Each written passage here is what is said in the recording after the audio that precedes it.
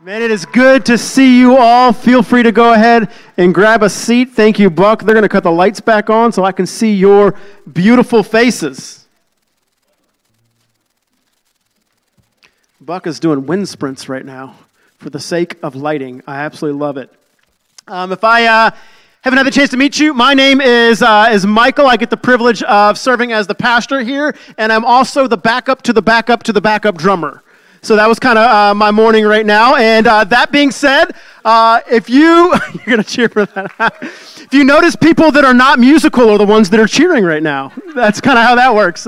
Uh, now, for real, if you, uh, if you know somebody that uh, is musically inclined and is gifted on the drums, we are looking for people that can play that. If you know an uncle or a nephew, we would love to meet them. let us know. That would be a, a big help to our church family. Today is part three of our series, The Apocalypse. Uh, we are going through the book of Revelation, which is always such a sensational book. And, when I say sensational, I mean that it kind of grips you with these really lofty ideas or these things that you think may or may not happen in the future. There's all sorts of people that debate about it, ask questions about it. And the goal of this series is to make the book of Revelation extremely practical. Extremely practical. I've been talking with some of you uh, throughout the past day or two, uh, or I guess two weeks actually, and um, it's been really interesting to see how uh, very rarely is the book of Revelation taught in such a way where it helps you live your life today. Um, and so, to kind of catch up to speed on uh, what we're doing in this series, week one was the introduction to it. And then last week, I kind of laid the overall structure that there are seven letters written to seven different churches. Chapter 2 and chapter 3 of the book of Revelation include seven separate letters, each one written to their church. And if we have uh, that map, I don't know if we can toss that up here. This will kind of help you guys understand um, how the entire thing works. And so the one we talked about last week was the church of Ephesus which is one of the most famous churches that has ever existed. And that church was the one that planted these six other churches. And so we're going to kind of start at Ephesus and go clockwise all around. Uh, so today we're going to hit on the church of Smyrna which is a church that had uh, some great things going on in it, and Jesus gives some phenomenal encouragement to it. And the second church for today is going to be the church of Pergamos. And, that church, or your Bible might say Pergamum, that church is the second one we're going to talk about today. And that one's really unique because the physical dwelling spot of Satan is located at that church. And so we're going to hit on that a little bit today. Um, the next church, the fourth church, is the church of Thyatira. And we have the church of Sardis, the church of Philadelphia. And then the final church will be the church of Laodicea. And these are seven letters that are written to seven specific churches. And within the seven letters and within the seven churches, there are each one of the letters, and they have seven different parts to them. You're catching this theme of the number seven. And so that the seven things are every single one of these is going to start off with an address. It's going to title the letter to somebody, one of those seven churches. It's going to title the, uh, the letter to them. And then there's going to be an attribute of Jesus that's mentioned as the second thing. After that is approval. He's going to talk about what he appreciates about the church. There's goodness found in pretty much every church. Then there is an accusation. All seven of these churches have something that's wrong with it. And Jesus calls it out. If you were with us last week, you know that the church of Ephesus had everything going from them on the exterior, but internally they had lost their passion for Jesus, that, their first love, their heart for God was no longer there. Um, that was the accusation to the church of Ephesus. We're going to talk about the accusation for the other two churches. Um, but Jesus doesn't just give accusation, he also gives advice, which is the fifth thing, and then he appeals to them on what they should do. And finally, there is assurance that he gives. So, seven different parts of it. And we're going to look at those seven different layers to two of the churches this morning. Are you with me and ready to go? All right, so what I want to do is I, want to pray through this real quick. I, I want to pray that God would use the warnings of these two churches we're going to hit on today and that it would spur us on to live our life the way that Jesus wants us to. The book of Revelation is not supposed to be a predict the end of the world. It's supposed to be a wake up call to believers to say, let's get our life right. And so I want to pray that the Holy Spirit would just do what the Holy Spirit does. Would you join me in praying over this? God, I pray that this text would be, number one, taught accurately, but that you would also give us the ears to hear, as it is literally mentioned in these verses. Um, God, spur us on to live lives that are worthy of the calling you have for us. And I ask this in the name of Jesus. Amen. First church is the church of Smyrna. Say to your neighbor, Smyrna. What a fun word right there. We could have named our church that. Like when we were praying about what the name of our church would have been, that could have been it, although it wouldn't make much sense because we don't live in Smyrna, but they did. So, Revelation 2, verses 8 through 11 is the spot where Jesus writes to this church. So, in verse 8 of Revelation chapter 2, it says, And to the angel of the church in Smyrna, write the words of the first and the last who died and came to life. I know you have tribulation and your poverty, but you are rich, and the slander of those who say that they are Jews and are not, but are a synagogue of Satan. Do not fear what you are about to suffer. Behold, the devil is about to throw some of you into prison, that you may be tested for and for 10 days you will have tribulation. Be faithful unto death and i will give you the crown of life. He who has an ear let him hear what the spirit says to the church. The one who conquers will not be hurt by the second death. So let's let's outline this briefly because we have these seven different parts and then we're going to pull the application out of this. Revelation 2 verse 8a so the first half of verse uh, 8 says, into the, uh, into the angel of the church of Smyrna. So that's the, that's the address of it. The first thing is the address. It's writing to this specific church. It would have been like if they said, We're writing to the church of the Rise, or we're writing to the church of some other church that's down the street. It's specifically addressed to them. And then in the second half of verse 8 is the attribute. It says, The words of the first and last who died and came to life. Who's the one who died and came to life? His name is Jesus. So again, it's, it's referencing Jesus, but not literally with his name, but an attribute that this church would have needed to know. And every single one of these letters is like this. It refers to a characteristic or an attribute of Jesus to help identify that he is the one who wrote the letter.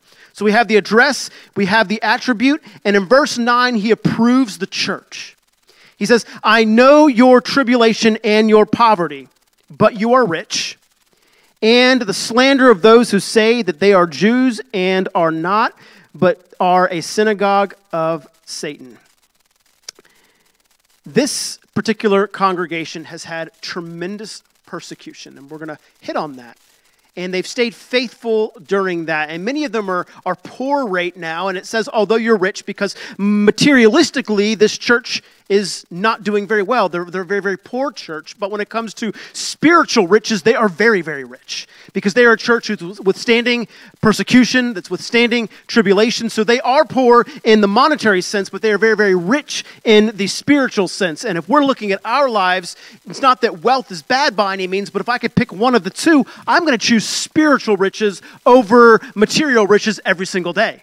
Because you know that you cannot bring your material riches with you, right? All of these things are going to have a time where they expire here on earth. It's the spiritual riches that you are able to bring with yourself. And then he gives the accusation. And the accusation is interesting for this particular church. Would you throw that map up one more time? So I, I told you that there was the, uh, the church where Satan literally uh, was located. That would be the church of Pergamos or Pergamum. And if you kind of take that, that, that, that spot right there and you go further out, you're going to see that the church of Thyatira and Sardis are churches that have a lot of internal issues. You're going to see the church of Ephesus and Laodicea are the ones that have more of their external stuff going on, but their internal, their heart for Jesus is struggling. The church of Philadelphia and the church of Smyrna are churches that actually are doing very, very well in all senses spiritually. So the accusation to this first church this morning is much different than the accusation you're going to see in the second church. The accusation is this do not fear according to Revelation 2:10. Do not fear what you are about to suffer. Behold, the devil is about to throw some of you into prison that you may be tested. So that's the accusation.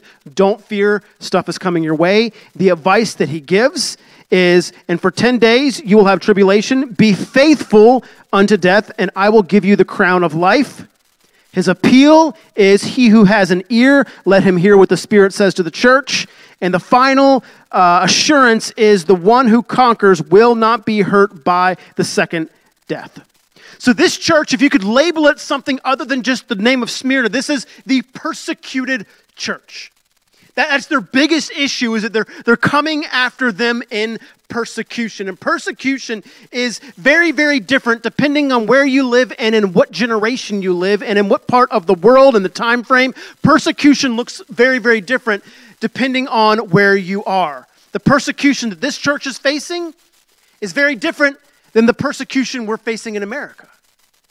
Not many of us are being threatened to spend time in prison and potentially die for our faith like they were in Smyrna, like they were in many, many other areas throughout the globe, even today. Persecution can look different. But can we acknowledge that our country at one point was more closely aligned with Christian values than it is today? Our country is so much different than it was you know, I'd say five years ago, 10 years ago, but if we especially went back 100 years ago, totally different. You would find the Ten Commandments in all sorts of different places.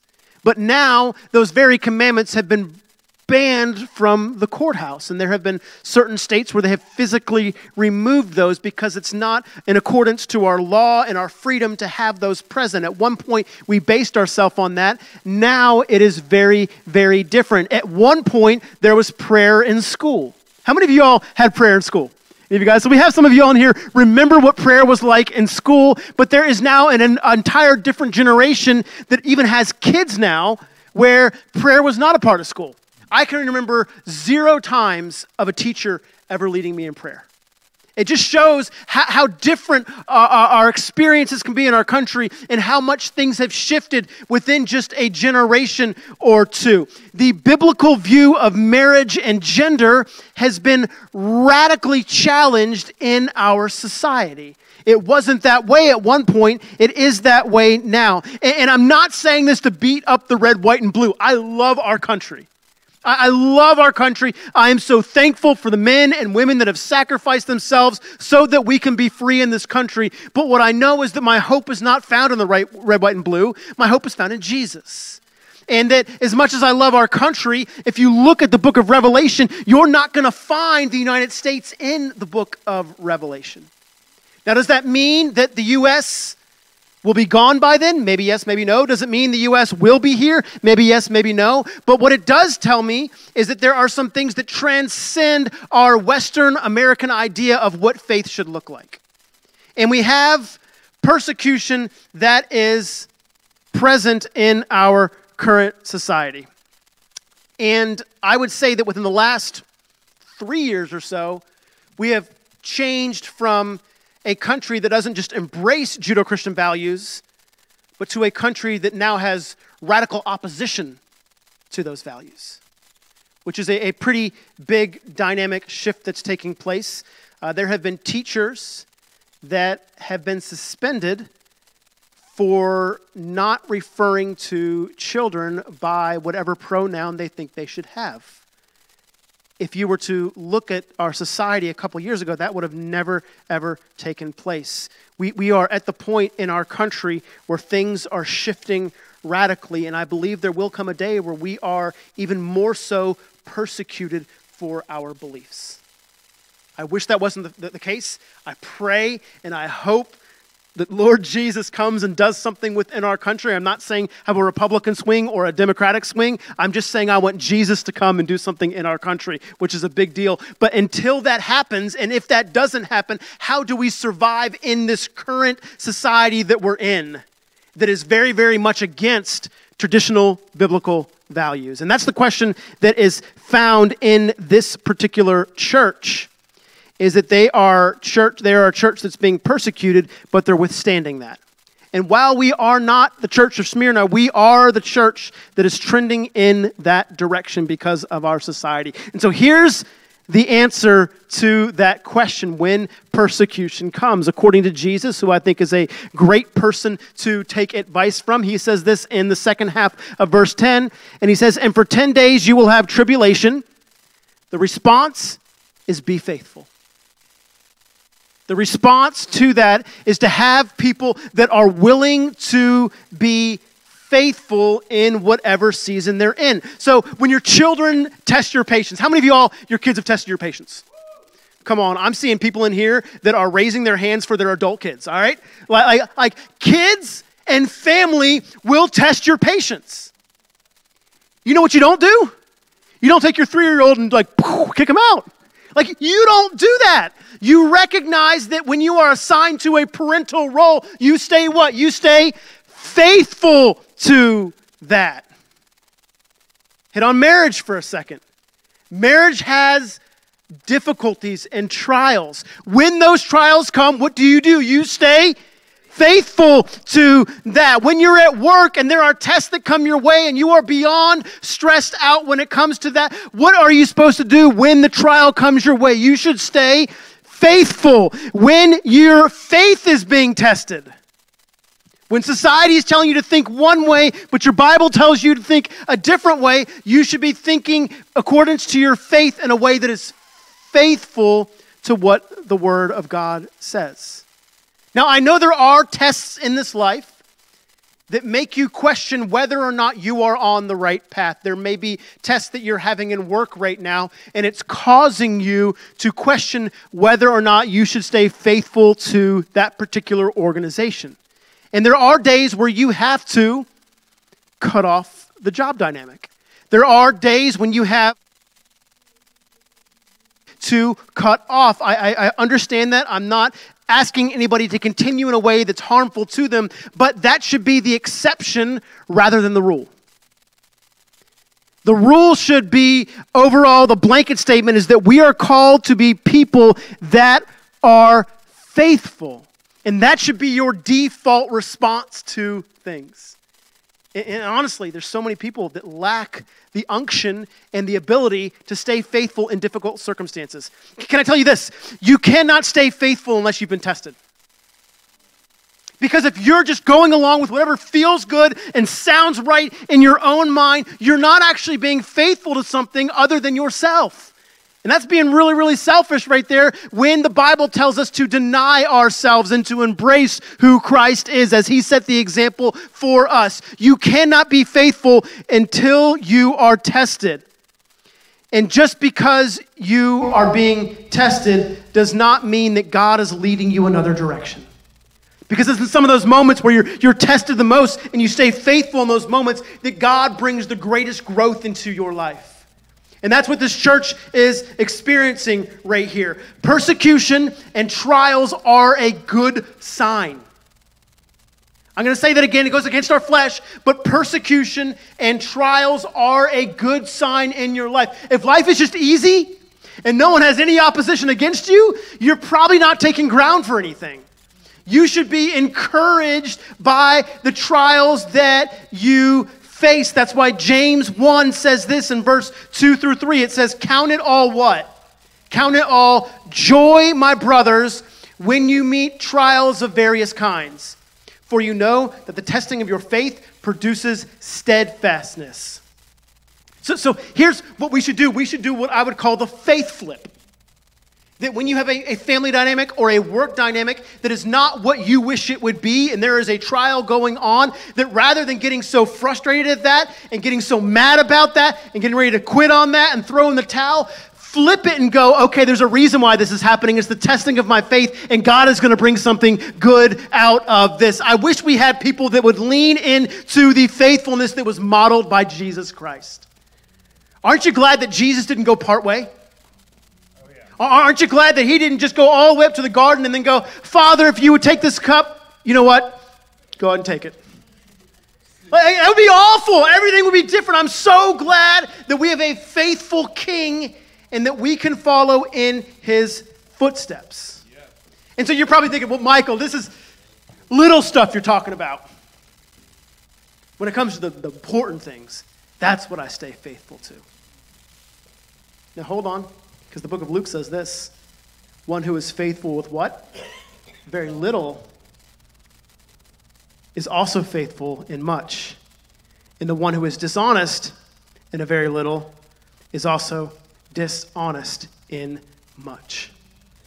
We need to be people that are faithful in every single corner of our life. It is a attribute, it is a calling that our world wants to eliminate and just hop from pleasure to pleasure to pleasure to pleasure, essentially hedonism, when we are called to be Christ centered, faithful people.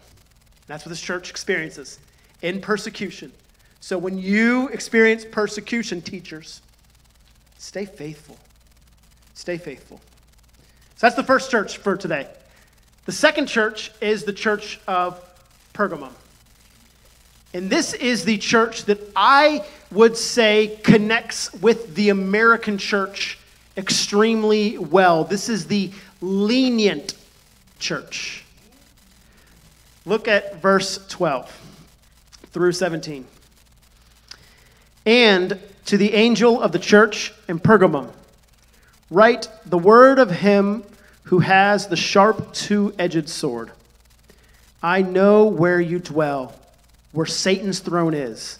Yet you hold fast my name, and you did not deny my faith even in the days of Antipas, my faithful witness, who was killed among you where Satan dwells. Satan is such an interesting creature. He is not a creator, he is a creature, which means that Satan is not omnipresent. God is omnipresent, meaning that he is present in all places at once. Satan is not omnipresent.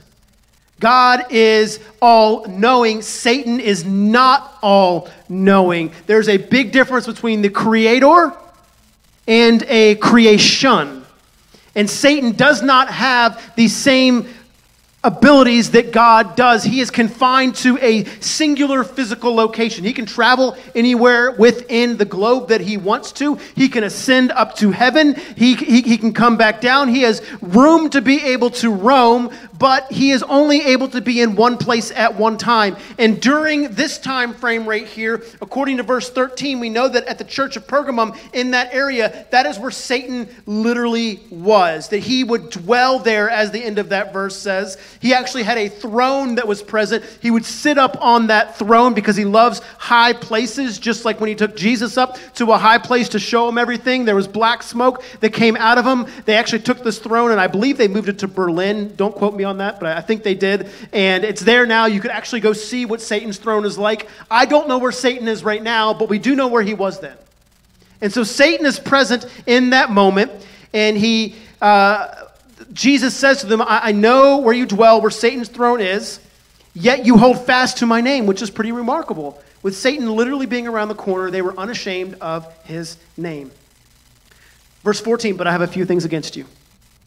And I'm sure, like a pit in their stomach, there's, oh, like I wonder what this is going to be. And he says, You have some there who hold to the teaching of Balaam who taught Balak to put a stumbling block before the sons of Israel, so that they might eat food sacrificed to idols and practice sexual morality.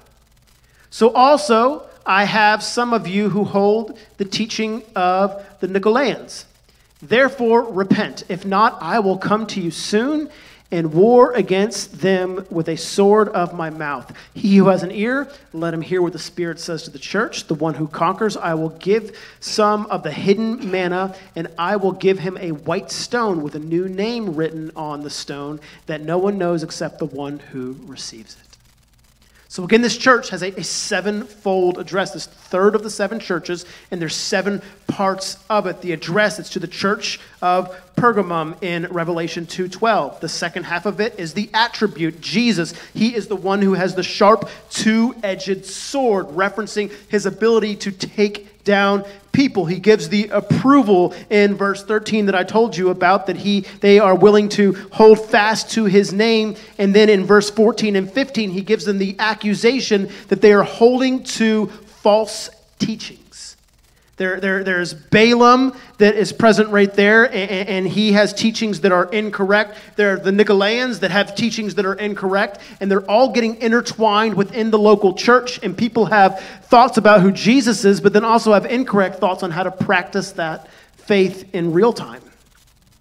There's the advice where he says, repent. There's the appeal and the assurance, which is very similar to what it was in the previous two letters. This church is a church that is unashamed of standing up for the gospel, and that should be admired. This is a church that is willing to say Jesus is king which is great because there are some out there that are not willing to acknowledge Jesus is king. But if you took a survey of mainline denominations, which I am totally for mainline denominations, I think the accountability system is wonderful, which is why we belong to a mainline denomination where people watch over us to make sure that we are operating correctly. I am for that. And if you look at mainline denominations uh, as an overview, you would see that the majority of them, if not all of them, say Christ is king, which is beautiful. I love that. That's, that's actually really, really important.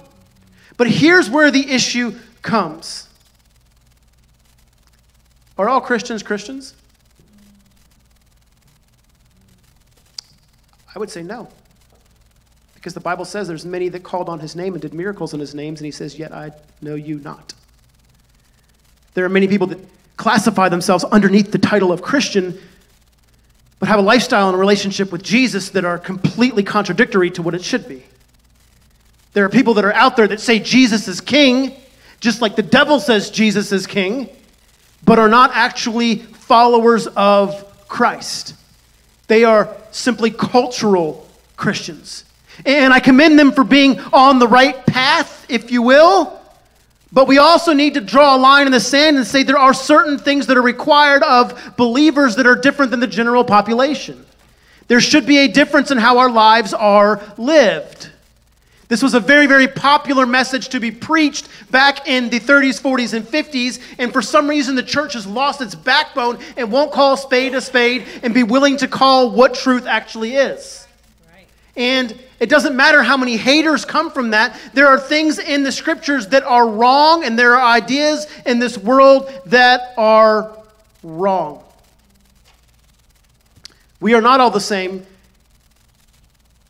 There are some who call on Jesus and do not actually know who he is. If you looked at the book of Numbers, you would see that there is Balaam who was there, and essentially what he did is he gathered a whole bunch of people, found a worship service that was going on. He hired a bunch of ladies to go into that worship service and to seduce all of the men that were present there.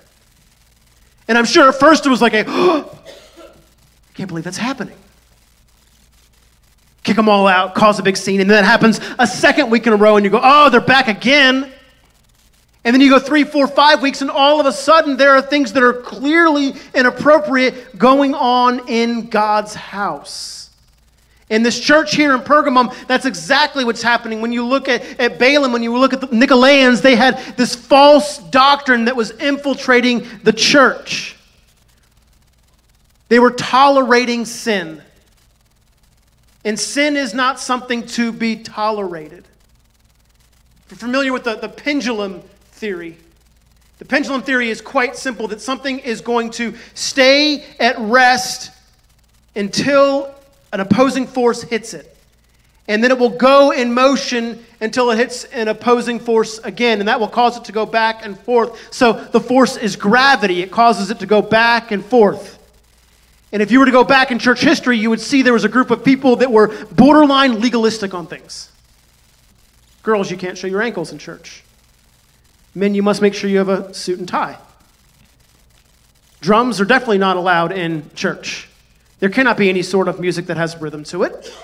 And all of these different things that are present, and people said, hold on, those things aren't actually in the Bible. Let's reconsider things. And so the swing happens this way to a grace filled movement. And the grace of God is very, very real. But what they do is they throw every single sinful idea and they cover it underneath grace to where I can do anything I want because of the grace of God. That, that, that I can live however I want and God's just going to take care of it. He's the one who's going to clean up the mess in the end. And I think we've reached a point to where people are abusing the grace of God. Paul even talked about that in one of his letters. Should we continue to sin so the grace may abound? Absolutely not. Paul says, you got to stop this. And somewhere in the middle, we find this balance. And there's a time coming when believers need to grow up in their faith. It says in 1 Corinthians chapter 13 verse 11 it says when I was a child I spoke like a child I thought like a child I responded like a child. And, and there's nothing wrong with children. I love kids. Kids are absolutely amazing. That's why our church is packed with kids. But, but what happens now is we have all of these adults who come into the service, and you got your, your binky with you, and your boppy with you, and your little bottle, and you're doing your, your cute little church thing, acting like a baby Christian. If some of the, the men and women walked up to me with a bottle in their hand and a blankie and their bunny into service, I'd say, Something's wrong with you. Like you need some counseling. It has nothing to do with Jesus. You just need to grow up. And the same is true in our spiritual life that we cannot keep behaving like children of our faith. Yes, there's childlike faith, it's a beautiful thing, but there comes a time, according to verse 11, when I became a man, I gave up childish ways. There needs to be believers who are willing to give up the childish things that once held them in captivity and embrace being a full, mature, self feeding Christian who understands the Word of God and allows it to be able to occupy and guide their life. Proverbs 14 says, There is a way that seems right to man, but its end is the way to death. And as I, as I read this, there are parts of my life where I go, I've been minimizing that. I, have been a little bit childish in that way. That there are some things that, that, that I, got to get out of my life. And please understand, new believers, so glad you're new, new in your faith. Come on, that's great. Enjoy being spoon fed for right now and praise God for. it. I'm not going to take one of my, my newborn kids and just feed them a, a, a, steak because that would be inappropriate for them. And there's some believers that are new to your faith, and now's not the time for you to fully dive into all of this, but there are others where you need to now do this. And this is what Jesus' advice is to the believer that is caught in habitual sin. This is Jesus' advice to the person who has listened to false teachings that are against what the scripture says. Jesus doesn't give a 47 step plan. Jesus does not say, well, we'll work it out in the end, it's going to be okay. Jesus gives a very, very, very strong warning. Revelation 2, verse 16 says this Therefore, repent. In our country, there needs to be a great repentance that is done from believers. We should not expect ungodly people to behave in godly ways. We expect ungodly people to behave in ungodly ways. But for people that call themselves sons and daughters of the King, sons and daughters of God, we should behave like sons and daughters of the God. And if there's things that are incorrect, we need to ask the Lord for forgiveness and to turn away from that particular action. And this is where, where some of the fear kind of crept in. This is not bad fear. This is holy fear that's present. This is what Jesus says after that. He says, If not, I will come to you soon and war against them. Basically, he says, Here's your chance to take care of your junk, and if you don't take care of it, I'm going to do it. Any of you have kids that trash their rooms? Why do kids do that? Like they're like, all right, here's a drawer, let's just dump it out right now. Why? So I can find everything. I don't know why they do that. So what I'll do with my kids is when they, they've trashed everything, I say, okay, you have a moment to come pick it up, and you can go pick it up. But if they don't pick it up, guess who ends up going in? I'd like to say me. Honestly, Erica does a better job of this. Um, but when she goes in or I go in, there's things that they love that go in the trash can. Not because we don't love them, but because gross. Like there's some things you got to stop that. When dad comes in, it's not the process they wanted, but I'll tell you what, it gets the job done. Some of us got some messy rooms, and we're just looking at it, dancing around it, like crawling over it to go to bed. I don't know how kids do that. Gross, gross, gross. There's going to come a time when the father is going to come in, and he is going to set things straight. And I can tell you, when dad comes in with his strong fist, there is a fear and there is some difficulty for the person that's receiving it. He says, I will come to you soon and war against them with the sword of my mouth. That's the warning to that church is to straighten things up. Now, I'm going to ask the the worship team to come on back up. And the ending of this particular letter I find to be very, very fascinating. In the final verse to the letter of the church of Pergamum, it says this in the 17th verse. It says, To the one who conquers, conquers what? Conquers all of the false teachings. To the one who conquers that, this is what will take place. I will give some of the hidden manna, and I will give him a white stone, and a new name written on the stone that no one knows except the one who receives it. Now, us sitting here in 2022, the idea of you receiving a white stone with a random name on it is probably not the thing that sounds the most exciting. Like, we probably want something more for our faith than just getting a rock from Jesus. Well, understand, in that culture, there were Roman games that would take place. And if you were in, a, in, in, some sort of game or some sort of sporting event, and you trained and you trained and you trained, and you said no to Roman pizza, I don't know if they had Roman pizza, I want to believe they did, and you said yes to Roman veggies, I'm sure they had that. You said no to sitting down and watching animals walk by rather than TV right now. I don't know all the choices they made, but they, they denied themselves of things so that they could train themselves for the games. And the games would go on and they, they would win the first place or the second place or the third place. They would stand up on the podium. There was a grand celebration. And what they would do to the people that were victorious is they would hand them something that had two particular uses. Guess what they would hand these people? A white rock. They would take this rock and they would hand it to them. And number one, it meant they were victorious. And I'm sure they went to their friends and were like, look at my rock. And they're like, I found the same rock on the floor. It's not that special. But this is what's different about the rock that they received versus the rocks that you would find on the floor. They would have an inscription that was placed on that rock. And when they were given that rock, that inscription that was present on the rock became a ticket to the after party or to the celebration dinner. And not everybody could go to that particular event. Only those who possessed the white rock with the name that was carved into it. So there are some that are going to live their life in such a way to where they do not have the white rock. Their day is going to come where they stand before Jesus. He's going to say, I, I never knew you. You have no, no, no proof that you knew me. There's going to be others that have the rock, and that becomes their entry ticket to the marriage supper of the Lamb that we're going to read about at the end of the book of Revelation. The very church where Satan dwelled just outside is the church that sets the example for turning away from false teaching and turning towards solid teaching and a solid lifestyle that allows them to have the gift of everlasting life. When we wrap up services here, if you've been here for a while, you know the rhythm.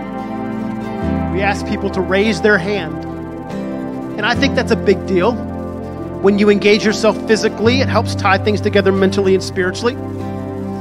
And they pray this prayer they acknowledge that Jesus is Lord with their lips, and they believe in their heart that God raised him from the dead. And according to the book of Romans, it says they are now saved, which is beautiful news.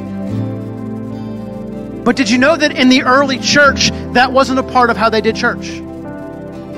They did not have times where people raised their hand and came down to the front and they prayed the sinner's prayer. That's not found in the Bible. I think it's a great tool, but it's not found in the Bible. What is, is people that repent of their own lifestyle and lean into what Jesus has called them to do.